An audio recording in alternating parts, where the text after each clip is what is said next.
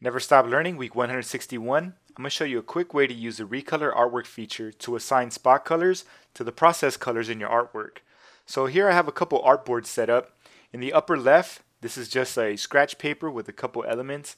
Over in the upper right, I have the grayscale version of my artwork. And down here at the bottom, I have a couple different colorways that I'm working with my client on. So the one we landed on was this guy right here. This is the one we're going to send off to a screen printer to be printed onto some t-shirts. So I'm going to double click on this and just target this object. I'm going to bring up my appearance panel, target this fill, and when I shift click on this thumbnail, it's showing me that this is actually a process color. So it's using CMYK plates to create this color. I need to swap this out with some PMS colors, but I'm going to let Adobe Illustrator do all the hard work for me.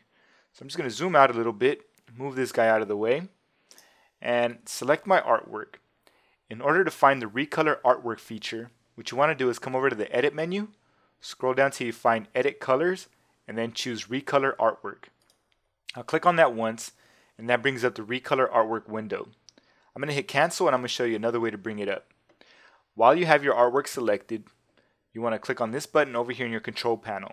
It's the Recolor Artwork button, and it brings up the window right away.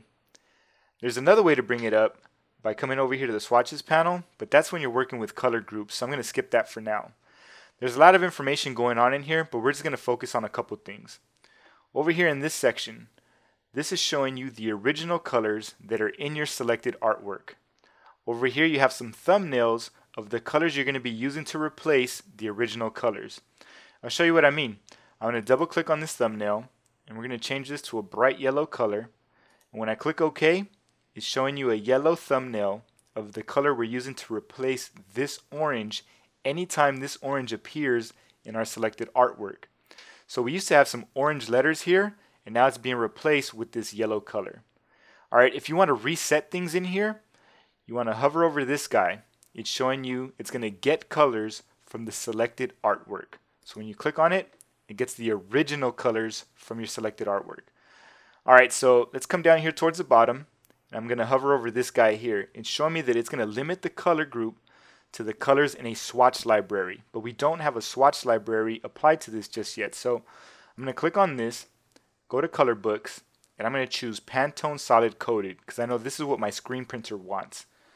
Over here it shows that the Pantone Solid Coated has been applied. So you probably didn't notice because it's a pretty good match. But if you keep an eye on my artwork over here, I'm going to uncheck this Recolor Art button. When I uncheck it, now it's showing you the process version. I'm going to click on it again and now it's showing you the spot color version. Alright, so let's take a look at these thumbnails. I'm going to double click on this guy and it's showing me it applied Pantone 7579C. I'll click OK. I double click on this one, it has Pantone 1365C. I'll click OK. When I double click on this blue one, it's showing Pantone 3005C. Now if I were to do something crazy like come over here and maybe choose a green color and then click OK, Let's see what's going on here. We have a green color swatch that is replacing the blue anytime it appears in this artwork right here. And that's why you see this green color in here now. All right, I'm going to come back over here to reset this so it's getting the original colors from the selected art. We'll come over here, choose color books, solid coated, and it's already done. If you're wondering about this white swatch, Adobe Illustrator will protect your white or your black colors. If you wanted to swap out that white for a different color, all you have to do is click right here in this area and then choose yes. I actually want to leave it as white, so I'm going to choose no and then click OK. Alright, now I'm going to zoom in on this guy a bit, double click on my artwork, target this object, go into the appearance panel, target my fill, and I already see a difference in my thumbnail. I'm going to come over here, shift click on it, and it showed me that that's Pantone 1365C applied to this fill. And if we come to this stroke, I'm going to shift click on that one and it's showing me 3005C is being applied to this stroke. Alright, so it looks like all our work is done. I'll go ahead and zoom out.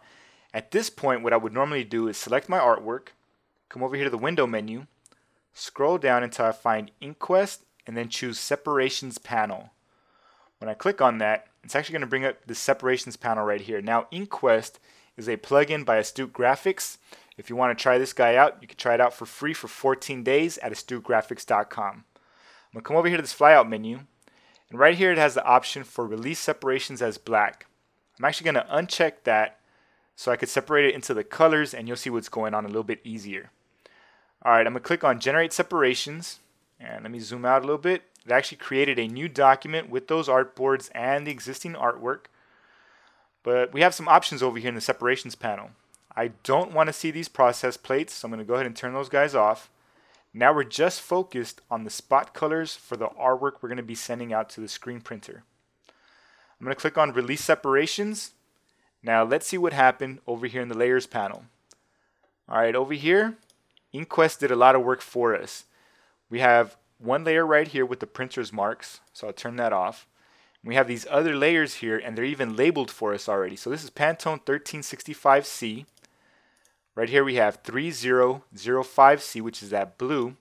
And then in the bottom, we have Pantone 7579C, which is that rich orange color we assigned to it earlier.